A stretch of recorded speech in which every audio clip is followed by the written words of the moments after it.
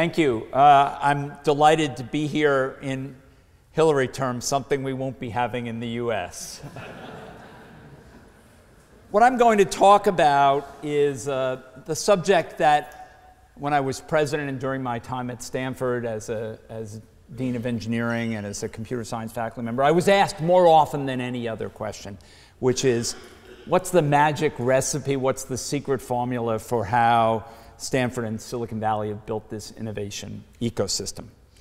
So that's what I'm going to uh, touch on. Now, slide control. Okay.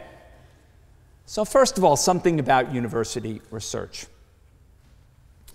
I take the view that university research is complementary to what goes on in industry, to the development.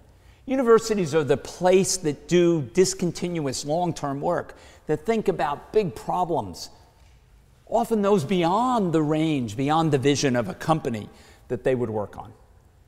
They have serendipity, they've got the opportunity to increase that. But more importantly, this has become more important in the last few decades because companies have reduced their spending on long term research. There are no more these great central laboratories here in the UK or in the US that were the source of innovation, have largely disappeared. So universities have to carry that role to help invent the future, to find the solutions to difficult problems. And of course, they also play another important role. They are source of the talent.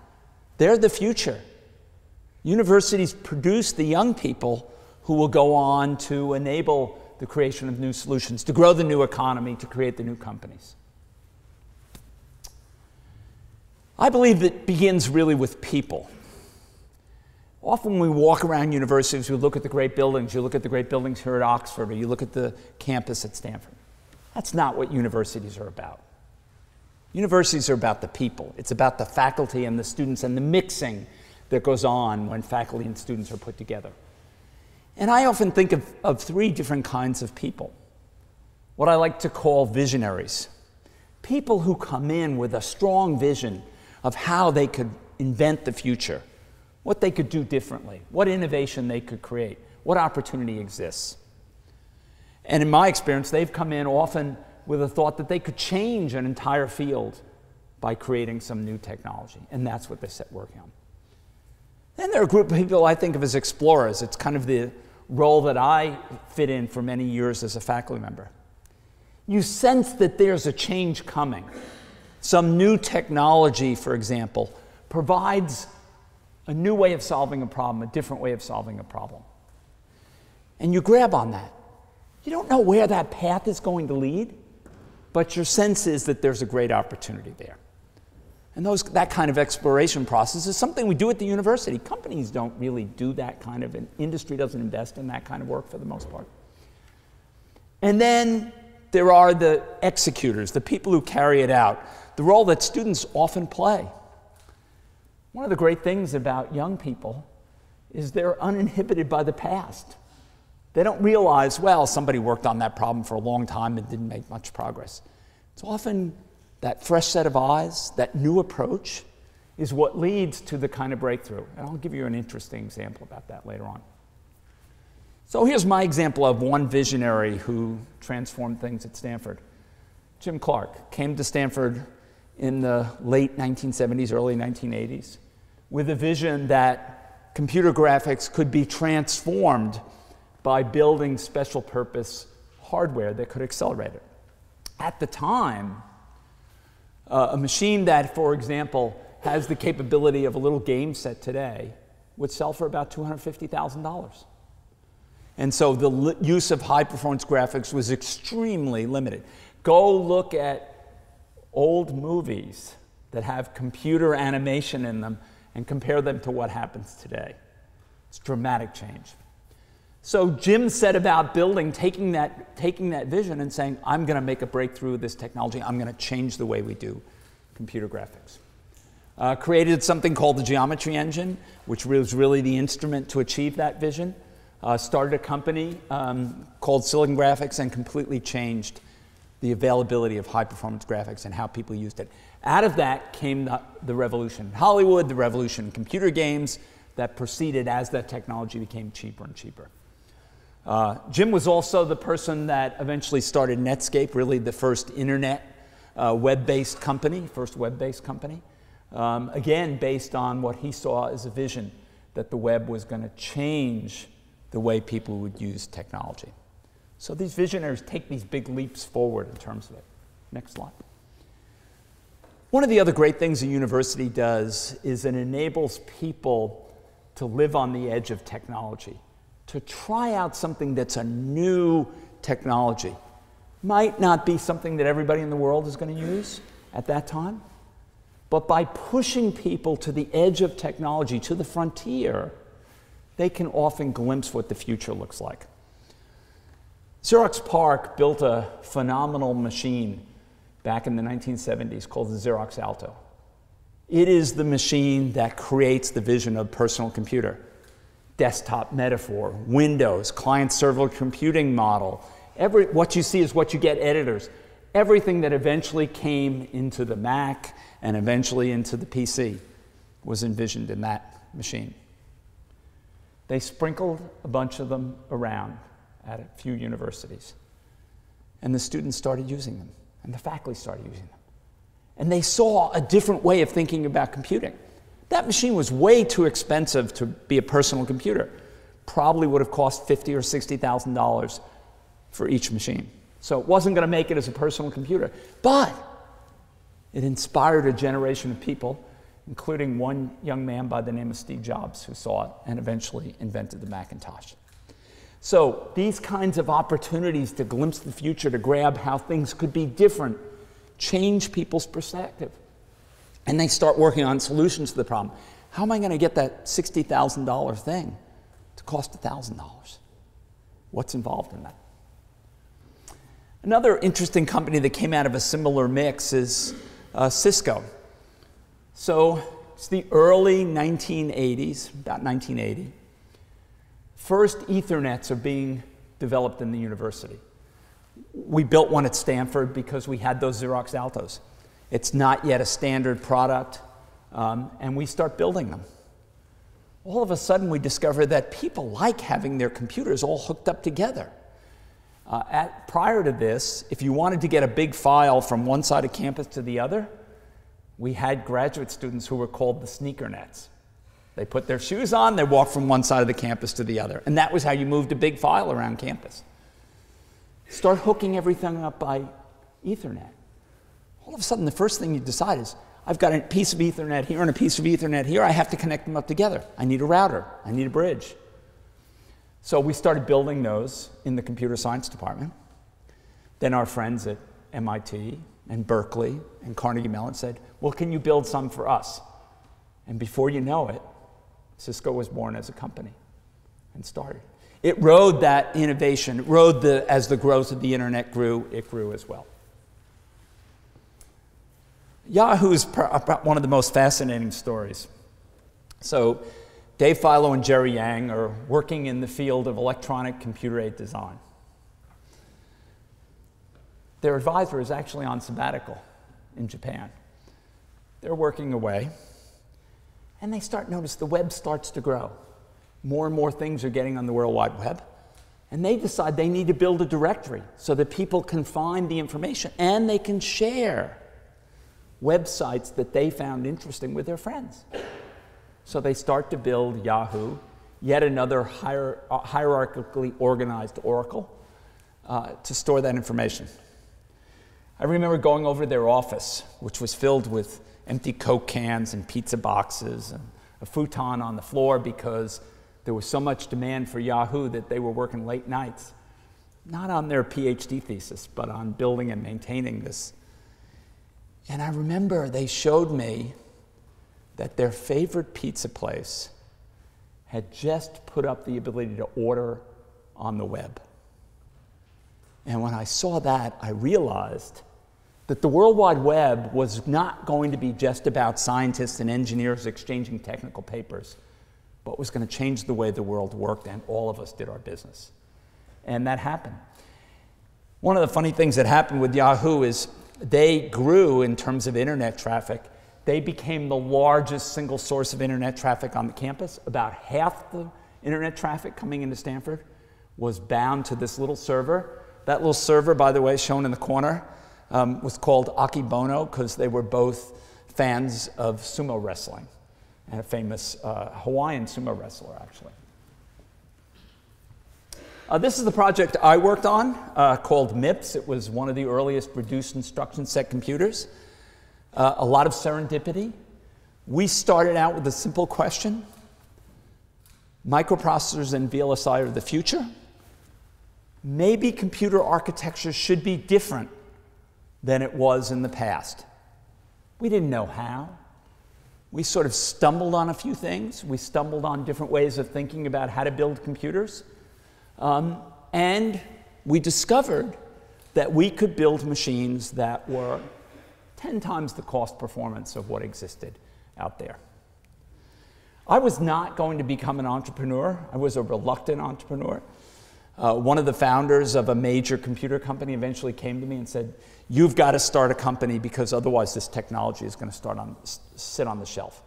I didn't believe him at first. I thought we published our papers. This is such a great idea. Everybody in industry will pick it up. They didn't. In fact, many of the companies that explored the technology ended up dropping the products.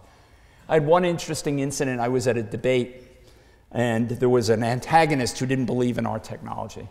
And I had just gotten my company the first round of funding, a million dollars to start the company. And the moderator says to the antagonist, uh, Hennessy here just got a million dollars to start his company. You don't believe in this technology. What advice do you have for him? And he said, Take the money and go to South America. so I didn't do that. In fact, the company was successful, had a successful IPO, and the project that that guy was working on got canceled. so, where does this all begin? It really begins with people. It begins by finding the very best people bringing them and creating an innovative atmosphere, an atmosphere that leads to creativity and innovation and new thought. Um, our students come from around the world, but look at this list of companies Google, Yahoo, Atheros, VMware, Silicon Graphics, Sun. They, one of their founders was found outside, came from outside the United States in all those companies. So getting that talent base from around the world is absolutely critical. Give them incentives to change the world. Set high targets. Let people think about how to do things dramatically different. We want to change the world. You have to be willing to stretch yourself and try something different. And run it as a complete meritocracy. We're working as a team, everybody's working together. You're as good as the best new idea that you have. And I think that's key to make a creative environment that people can work together and really stretch themselves and do their best. And give them complete freedom to choose. There's no central planning of the research agenda. It's picked by individuals. Google is probably one of the most fascinating stories. Um, Larry Page, who wrote the first algorithm, was not working on searching the web. He was working on a project to search digital libraries. How do you search a digital library? Suppose somebody says, I'm looking for a publication by Hennessy. I have a lot of publications. There's more than one Hennessy. There's also the cognac. What do you want to give them back when they do that search? Don't give them the cognac. So, what they said was, you should give back the reference to Hennessy that more people cite than any others. Because that's probably his most important publication. If more people are citing it, it's probably the most important publication. That's the core of the Google algorithm. Just change it to the World Wide Web, and citations become links in the web. And that was their core insight. What was amazing was there were other search algorithms out there. There was a, there was a company called AltaVista, which was so much better than what came before. And some of us said, well, there's AltaVista, it's pretty good. The problem with AltaVista is it gave you back 10,000 hits, but not necessarily in a very good priority order. The first time I saw the demonstration for Google, I realized it was a better search algorithm. It would work better. And Larry and Sergey realized that as well. Sergey brought in some mathematics, taught Larry how to make that very fast, helped him build a fast algorithm, and Google was born. In the end, though, to really maximize the impact You've got to figure out how do you take this discovery or invention and ensure that it gets transplanted out into the world where it can improve lives, make people better. Our, the key insight we have over many years of doing this is there is no such thing as technology transfer where you just hand over the technology. It's about people. It's about getting the innovators to take their ideas and bring them to the outside world and transplant them in the outside world. And all our experience, dating back to Hewlett Packard, and that's actually Hewlett Packard's very first product. It was an audio oscillator. They sold seven of them to a small company called Walt Disney, who made a movie called Fantasia with that product. And that was the beginning of Hewlett Packard. So it is about people time and time again. We found that the key to getting technology to transfer is to take the people who really believe in it, who are the innovators, who see the glasses half full and not half empty, and are willing to take that technology and run with it. And students are key. The nice thing about a university is there's a very natural process of transferring technology. Students graduate. They go, in, they go out and they take their insights, their creativity, what they've learned with them. And so we find that that's a key to make that process work. Over the years, we've developed educational material Lots of students at Stanford want to be entrepreneurs. We want to help them understand what it takes to be successful as an entrepreneur. Better, they should be able to articulate their arguments, get their funding, and be successful. So we've supported them by creating a set of entrepreneurship courses to help them develop the skills they need to be successful. But of course, we're also blessed. We're blessed by sitting in an environment that picks up technology very well, where there's a great relationship between industry and the universities where we can work together in a conducive environment. That actually goes back to a guy uh, by the name of Fred Terman, who was the Dean of Engineering and Provost later and helped create this environment in the Valley and this relationship. Um, built the, the first uh, industrial park at Stanford where HP and a number of other companies have had their headquarters over the years and really developed an ability of people to work together. Um, so you could come to the Valley now, go to a local restaurant, and you'll hear more tech talk than you could imagine possible. Um, so there's a, a vibe around it and a notion that universities can work with companies. We don't do the same thing. We do different kinds of things. Universities do long term research, companies develop products. But they can have an appreciation for their work and what they can learn from each other. And that's the attitude we've tried to foster. Of course, there's lots of other pieces to it, the vital ingredients for startup, venture capital. Um, one of the hardest things, tolerance for failure. There are a lot of people in the Valley who've been in failed startups. If their career is over because they were in a failed startup, you'll have a hard time creating new startups, particularly ones that try to stretch themselves and do unusual things. The rest of talent base you need, access to advice. Uh, today, most young companies in Silicon Valley are starting with angel financing that are coming from entrepreneurs who've been successful over the years. All those are key ingredients to nurture it and continue to grow the environment. So, just a couple concluding thoughts. First is innovation comes in big waves. Every now and then there's an injection of energy, of new technology right? It could be the beginning of electronics, uh, the beginning of the integrated circuit era, uh, the beginning of first microprocessors, the beginning of the internet, the beginning of the World Wide Web, social mobile, and today, I think it's machine learning and artificial intelligence that's going to change our world for the next few decades. Um, those injections create lots of interesting opportunities because they change what's happening in dramatic ways. And they're a, they're a primary force in changing the world and growing whole new kinds of innovation. Universities have a key role to play in doing this and fostering this innovation and ensuring that our students have the opportunity to be leaders in creating it. So thank you for your attention, and I'd be happy to answer whatever questions you might have.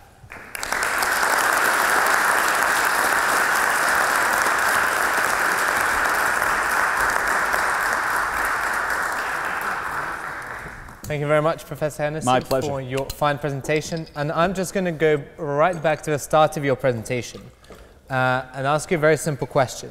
Just under 12 months ago, you said that leadership is broken around the world. I think right now leadership is broken. It's broken in our political system. It's broken in corporations. As you may guess, what do you make of your country's attempt to fix your political system? Well, I think, I think we've been in an in a extremely difficult situation, a situation which um, many people thought couldn't happen. Um, I think um, an election should be about serious debate about the key issues facing a country. I don't think Twitter is the right mechanism to do that, um, nor the right way to have an intelligent, detailed discussion. Um, I think in the end, we're not going to fix the problems we have um, by simple uh, 35 character tweets. Uh, we're going to have to go back and deal with those issues. And I think um, the US is going to have to struggle to find a way to do that. Sure. Well, one of the things that um, you are very well known for, perhaps not politics, but fundraising. And uh, uh, Andreessen Horowitz once called you the godfather of Silicon uh, Valley, but I would also call you one of the greatest college fundraisers of all time how easy it is for you to, to raise billions of dollars within 12 months? Well, it's, it's a lot of hard work. Uh, I, I, think um, I was successful uh, with fundraising because I was raising money for really great ideas, great propositions, great things that could be done. Um, people invest in in the quality of the concepts, the quality of the vision, and they invest in other people. Um, most philanthropists are big believers in the that the future belongs to young people, and they're willing to make an investment in that if you can uh, conceptualize how, how you're going to make the world better through that. So for me, that, that's the key. Um, it's a lot of hard work, it's a lot of engagement of people, but it begins with the quality of the vision. Sure. And one of the things that you've you know always tried to do is make sure that you know that area of that sort of belongs to you is very meritocratic. Uh, but many often criticize Silicon Valley and tech companies for being sexist in their selection approach. Do you believe that's a problem, or do you believe that's something that will naturally evolve and improve?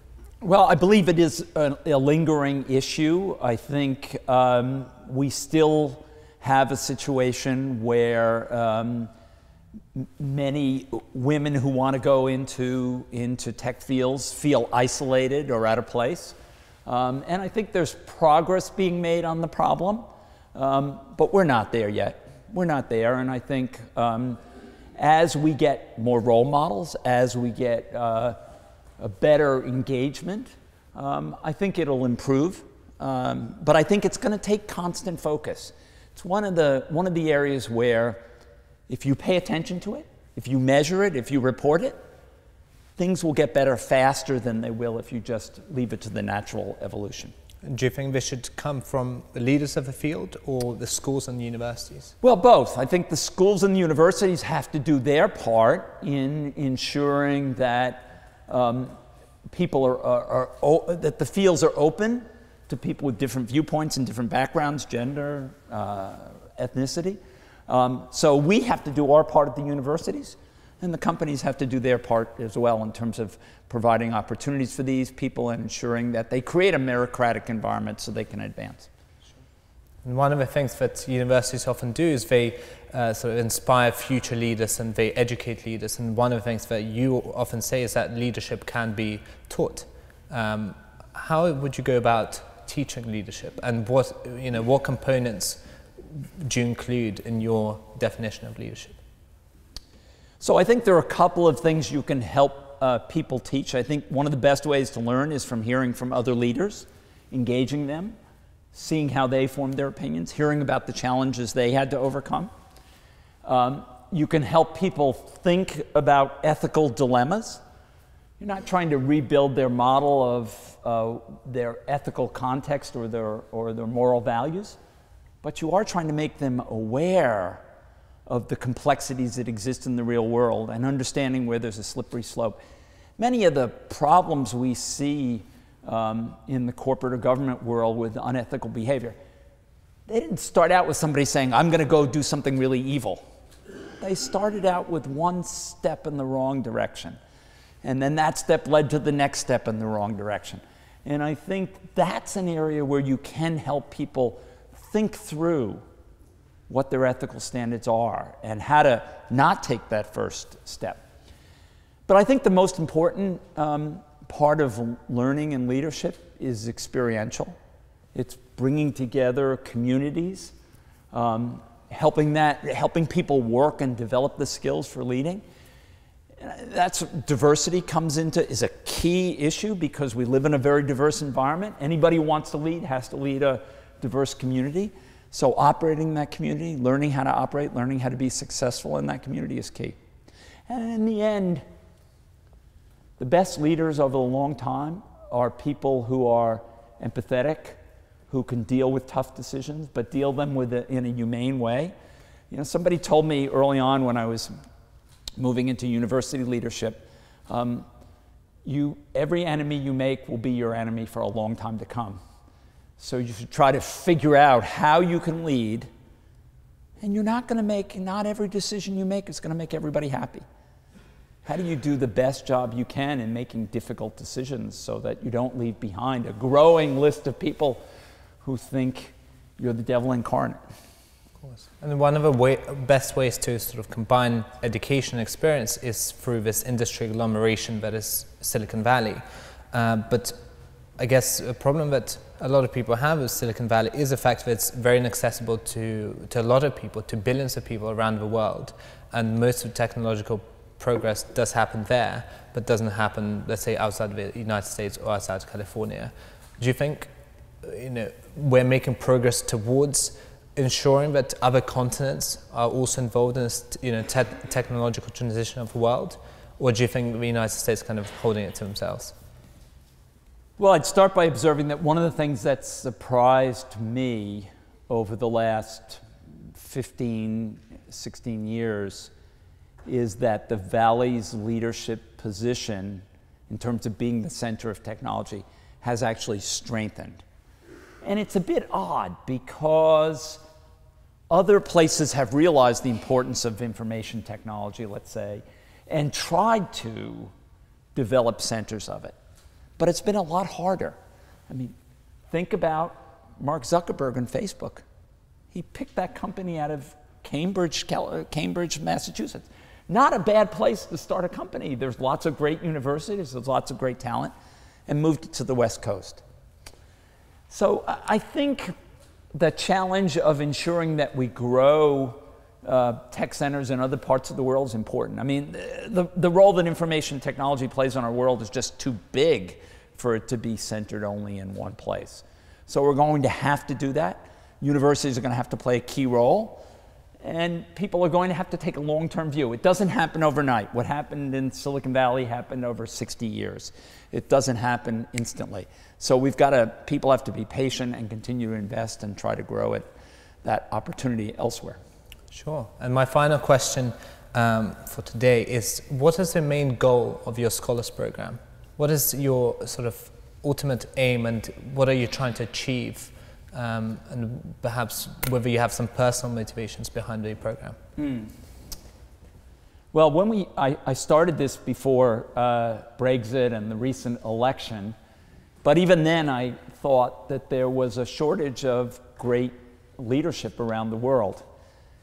And I thought we had an opportunity, of course, learning from the Rhodes program as the, as the exemplar. If we could get great students from around the world. And our program's global. One third of the students will be from the US, but two thirds of them will be from outside the US. Get really great students. Help add value to their educational experience. Bring them to Stanford, take advantage of everything that's at Stanford, but also add something in terms of helping them develop as leaders. Um, and this is a long term investment because uh, people make their contributions over decades. And so we have to take a long term perspective on trying to, uh, to contribute to that.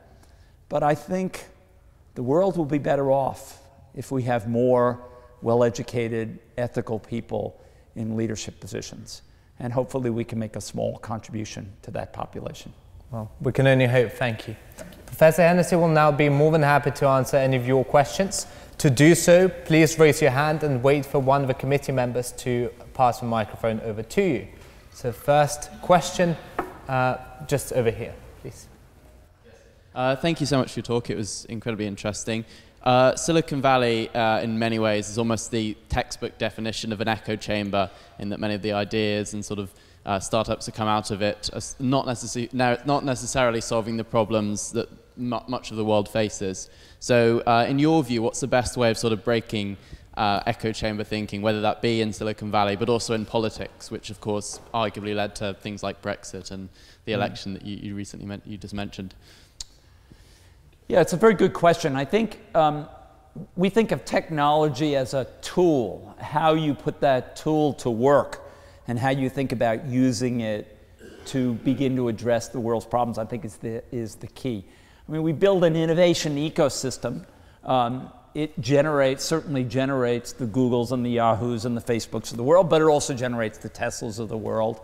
It's also a place where there's, uh, I believe, some good uh, opportunity uh, to uh, improve our environmental standing by breakthroughs in either photovoltaics or battery technologies. And we ought to be doing that as well, as well as opportunities in, in human health. Um, the danger in the, the danger in Silicon Valley is the creation of lots of Me Too companies. And that happens. Every social media company comes out there, then a whole bunch of social media companies um, get created. For the most part, those companies don't change the world, though. They do their little thing. What we need to be looking for is companies that will really stretch themselves to create some new technology that'll help really improve quality of life for everybody. Um, and that requires people with a vision of how they're going to do that and what they're going to do differently. Um, and that not every company can do that, but some can. Sure. Next question. Uh, just that red glove over there. Hi, President Hennessy. Uh, my name is Sagar. Thanks for coming. I, I graduated from Stanford in 09, so it's great to see you over here. Uh, I'm particularly interested in the last slide that you had about the waves of innovation.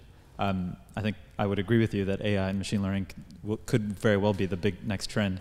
Uh, but in the time since I left Stanford, I worked in the government for a while in the US government. Um, and I spoke with a lot of people who uh, did research work for the government or helped to do grants. Um, and I was curious, not on the political side, but what, what role do you think government plays today, not what role did it play in the early 90s. What, what role do you think it can, it can play today and should play today in helping to move us towards that next wave and progress us farther? Thanks. Yeah. Well, certainly, certainly in the US and to a large extent in the UK, the government is the funder of a lot of that basic research. Um, in the US, most of it goes into the biomedical sector, but a healthy part still goes to uh, various kinds of technology and engineering. Um, I think there are some key areas that they're now playing a, a, big role in. They, they have been big investors in energy and new energy technologies. Um, and so that's an opportunity, assuming that the next administration believes that's still something we should be doing. Um, climate change is here to stay and it's not going away quickly. So we're going to have to find a solution to that. It's, it's, so take the problem of, of new energy technologies. That's a problem that's really hard. It's, you can't solve the problem unless you can build an alternative to fossil fuels that gets to, as, as Tom Friedman said, the China price. A price that's competitive, that developing countries can afford to use that technology. That's a really hard research problem because the progress in photovoltaics is relatively slow, as is true in batteries. So we need somebody, we need people who will take a long term perspective and think about it. And government is the funder of that kind of work. Um, so they, they play a key role and they have over time. Uh, and I hope they continue to play that role and understand the importance of it. Sure. Next question. Just front row over here. Yes. Thank you. Uh, you spoke about how universities are important in research and how the importance of people, but I'm wondering how do you expect universities to get those people when it's harder and harder to get tenure professorships, when there's fewer tenure track jobs, and more and more money in universities is not going to academics researchers, but to administrative costs and to ridiculously high administrator salaries? Yeah, the biggest problem in the biggest problem that universities, it, the situation is very different in in different parts of the world. Um, certainly in the U.S., our public institutions have been under enormous pressure. The primary problem they've had is that the states which fund the public universities in the U.S. have been cutting back their funding, with the result being that more and more burden is being put on families. Um, it also means that um, many universities, in order to cope with that, have eliminated tenure positions in favor of adjunct and other forms of faculty. I think we all realize that that's not a particularly good trade off for the students. Um, but the dilemma, the squeeze that's on universities to improve productivity is, is real and it's there and it's an industry, higher education and is an industry which has not yet been transformed by these various things. How we're going to grapple with that? What's the role of technology in helping teach students? How do we put that together? How do we keep faculty engaged and have good lifelong careers? Um, that's a problem that I don't think we have a really good solution to yet. We're going to have to find ways to mix that together, to think about the issues of what, what, how much does education cost? How do we make it affordable um, to families and, and individuals? So I, I think we're still in a learning process on that problem. Perfect. Next question. Can we go all the way over there with a membership card? Yes. Thank you. Quick question. How do you feel the relationship between technology and political debate and possibly free speech issues is likely to change over the next 10 to 15 years? I think good and bad. Um, technology is a tool, it can be used to reduce political debate to something that is very uh, ephemeral and very thin. Um, we also, I, I, recently had an interesting meeting with a group of students who were um, trying to build a company to create virtual town halls where political leaders can have in depth discussions with members of their community, not superficial one line emails or, or Twitter tweets, um, but have a more detailed discussion with their community. I think that would actually benefit uh, politicians and benefit the engagement of the community in the debate. So the key is to figure out a way. This is a great company.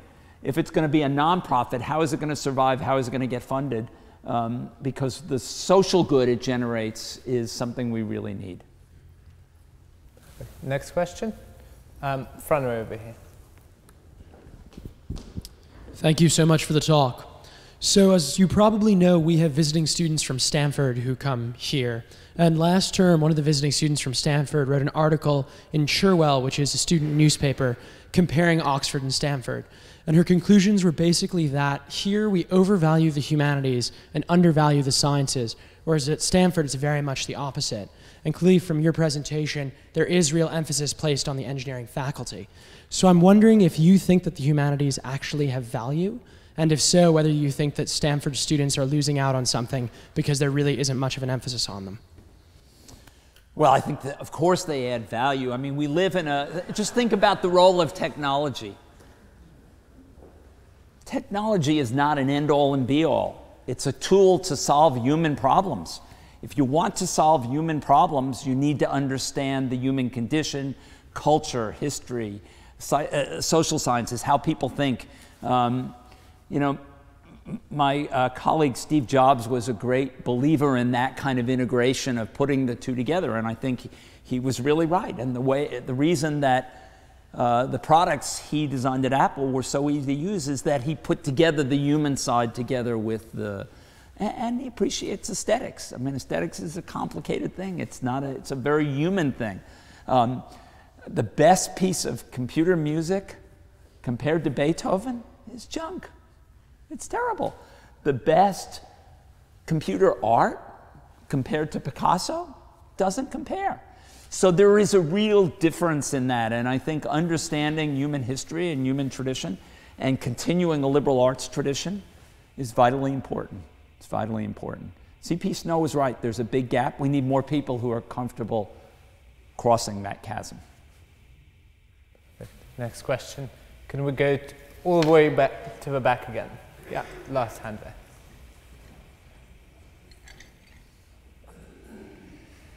A year ago, Peter Thiel was here, and he argued that there was too much of an emphasis on digital startups, that bits were winning out over atoms, and that Silicon Valley wasn't focusing enough on tangible engineering projects that, um, of, of the type that were benefiting us 50 or 100 years ago.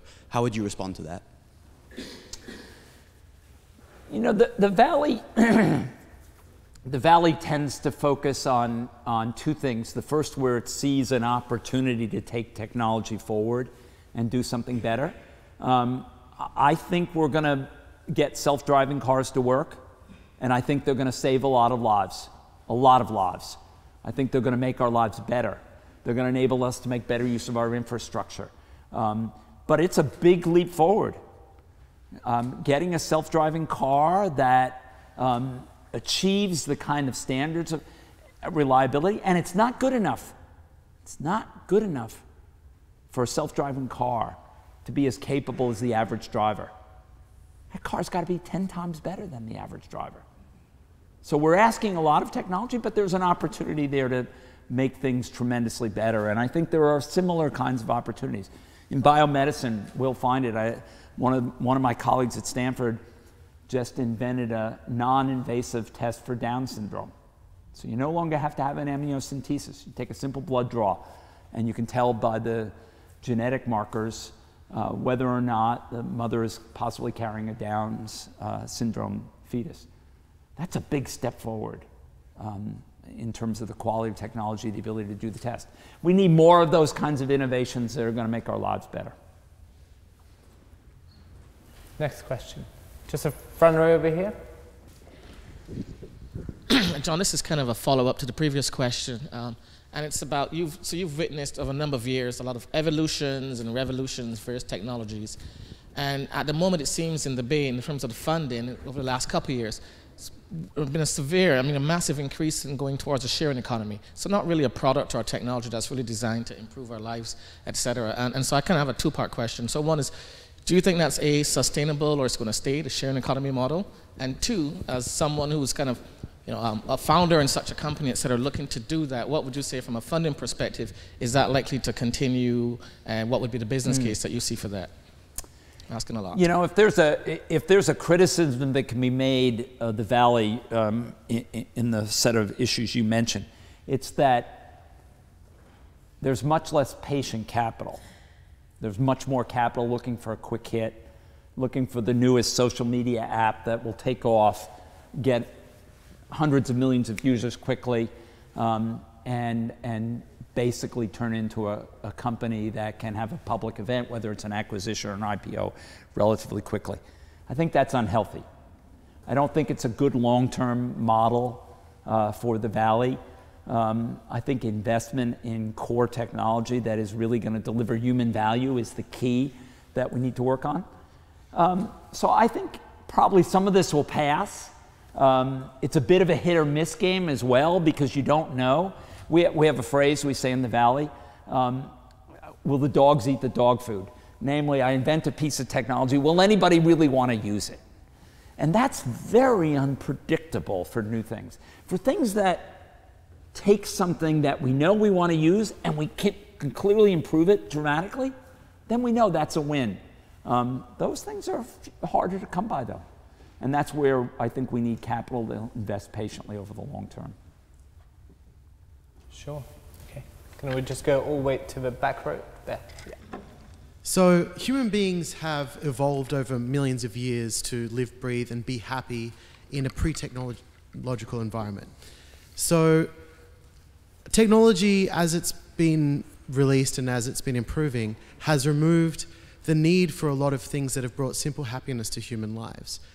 Do you think there's a point when technology will create a net misery for the human race rather than a net happiness? Mm. And do you think we've already reached it?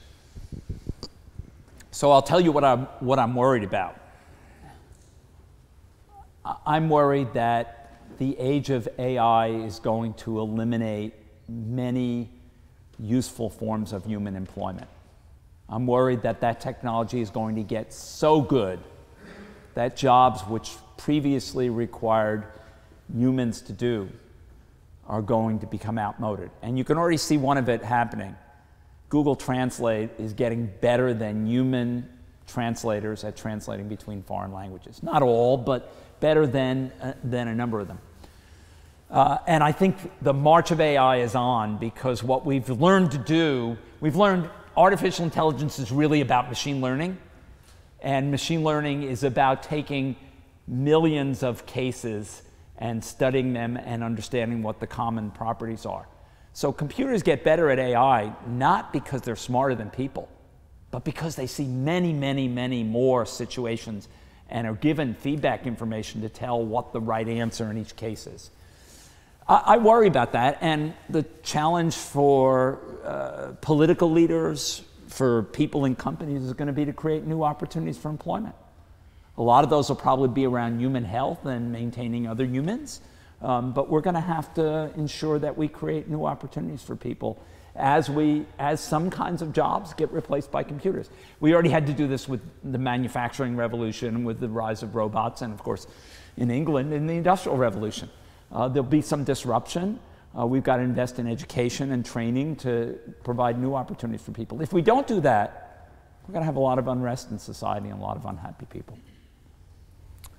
And certainly in this country, there was an, a lot of unemployment during one of these periods of disruption. Do you have do you, any solutions for US politicians uh, on how to potentially solve that uh, period of unemployment, no matter how long or short it might yeah. be? I think it is a problem in the US. There's growing what we call structural unemployment, long term unemployment. Um, and I think we're going to have to figure out how to build a society that's better at becoming lifelong learners. It's not about going to school once in your life, getting your degree, and then never going back to school. It's going to be about learning new skills constantly and enhancing what you can do.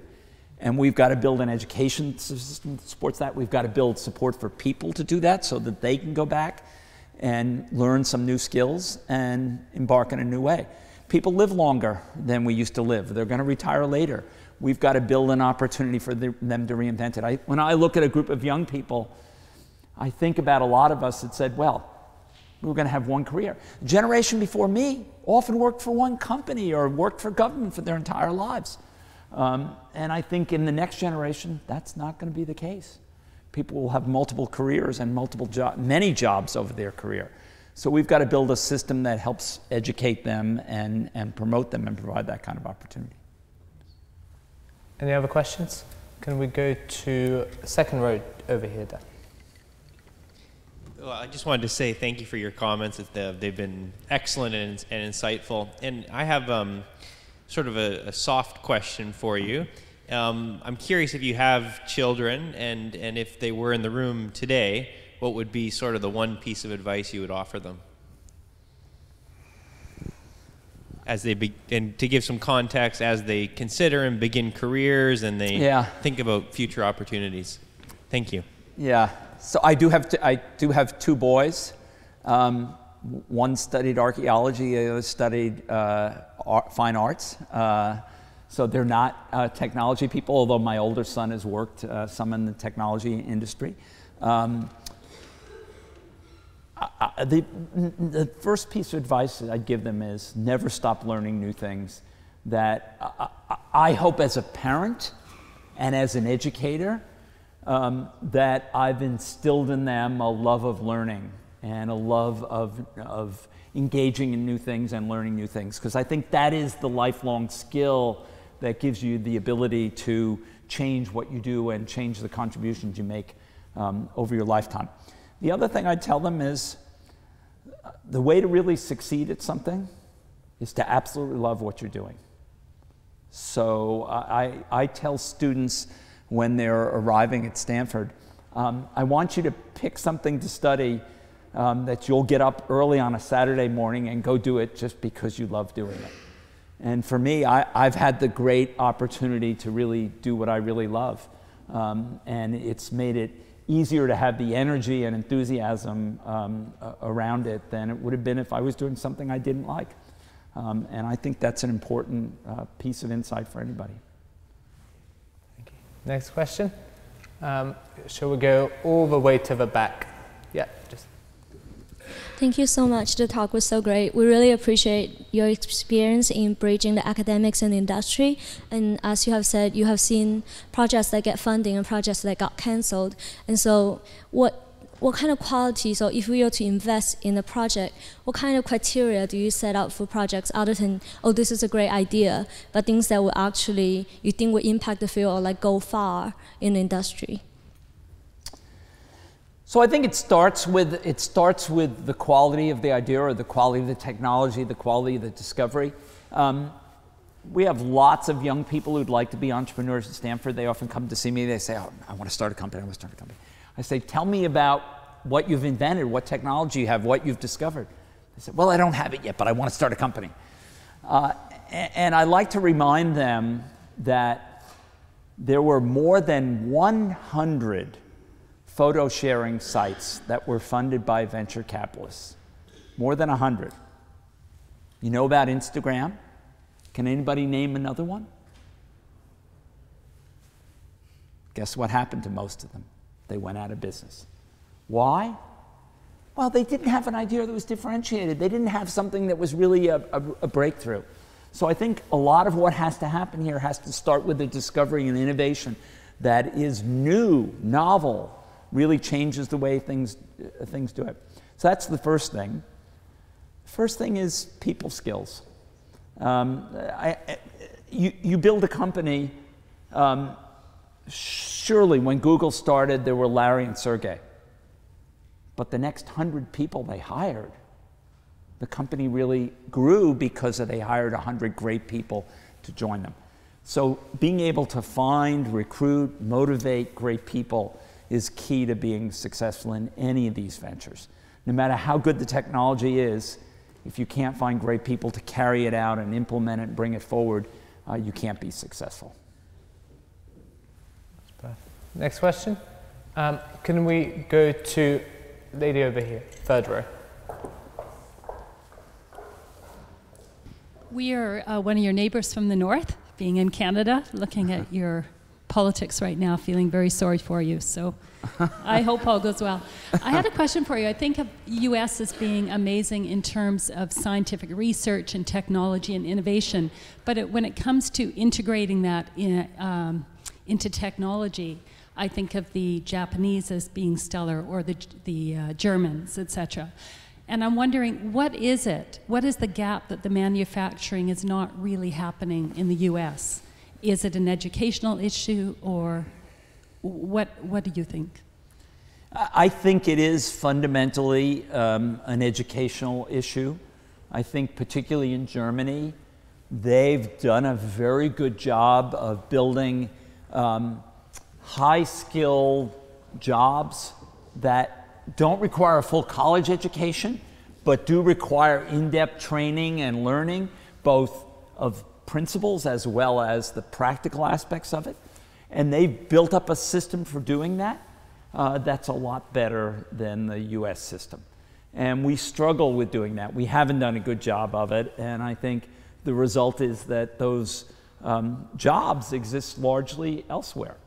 Um, and it's a challenge. If we want to rebuild manufacturing, if that's what President Trump wants to do, he's going to have to make it's not just about arguing, well, you can't move to Canada, you can't move to Mexico. It's about building up the capability to find that talent base. Because today's manufacturing requires some form of higher education. Maybe not a full four year degree, but a two year degree that involves some real use and development of knowledge and skills. And that's where we're going to have to invest if we want to have those kind of jobs in the US. Perfect. I think we're just going to have time for one or two more questions. So, can we go to the front row over here? Do you mind just standing up? Perfect. Uh, hi. So I know that the uh, the new Knight Hennessy program costs about uh, about 750 million dollars was invested into that. I'm kind of curious why the focus on putting so much money into few people when there's so much inequality already, instead of funding, say, more lower income students at Stanford, which only has about 15% uh, students from about the lower 50% of the income distribution in the US?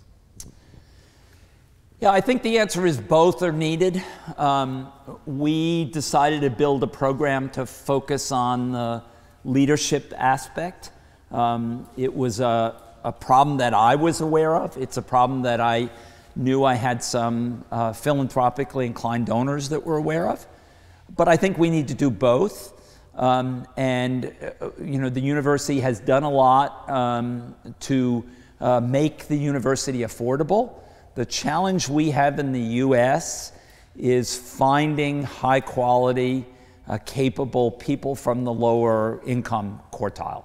And that's an ongoing struggle uh, in the US. It's a struggle for all of our institutions, um, all of the uh, uh highly selective institutions in the US, um, and something that uh, we need to continue to do. It's not actually a financial problem for the university. So we're funding those students today. If, you, um, if your family makes less than $120,000 um, at Stanford um, and you're accepted as an undergraduate, your tuition bill is zero. You pay nothing. And if you make uh, less than $65,000, we also cover room and board costs as well. Um, so we were able to do that. But the challenge, which you alluded to, is we still have a, a dramatic underrepresentation in the lower income quartile. That's going to take time. It's going to take work on our K 12 system as well, because the fundamental problem is that those students don't have the same quality of education as students in the upper half of the income distribution. Um, so that's a long term problem for the country. And if we don't solve that problem, we're never going to solve the problem of growing inequality because it starts right, it starts right there with the education system and particularly our K 12 system. I think there's time for one more question. Can I go to the fourth row, I think, at the back? Yeah. So you talked a lot about bringing talented people from all over the world, and that um, makes me wonder what sort of reforms to the US immigration system do you think need to be made, and would, those changes be politically feasible? There, there's traditionally been a lot of support for high skills visa reform in the US. Um, I've been an advocate of what we call the staple the green card to the diploma program um, for people who come and get a graduate degree in the, or an undergraduate degree in the US for that matter, um, that we should just issue a green card instantly.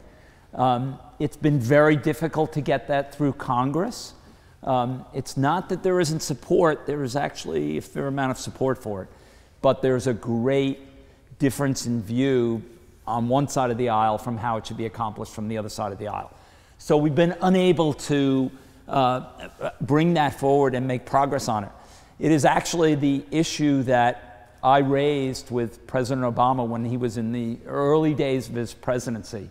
Um, and so now we are eight years later, and we really haven't made progress on it. It's an ongoing uh, challenge, um, but one I think maybe we'll have a shot at doing it under the next administration. Um, but it's a critical thing for the country and, and for the world. Lots of those students come, um, they stay, they work in the US, and a lot of them head back to their home country over time. Uh, and they go back with a skill set and a knowledge that combines not only what they learned in the university, but what they've learned in terms of putting that, that to work. And that's an important uh, part of providing technology opportunity around the world. Sure. Thank you. And, Thank you. Uh, and I, I'm sure that everyone else will join me in thanking you for a fantastic talk. And uh, you've covered a lot of ground and different topics. So thank you very much for that. Thank you.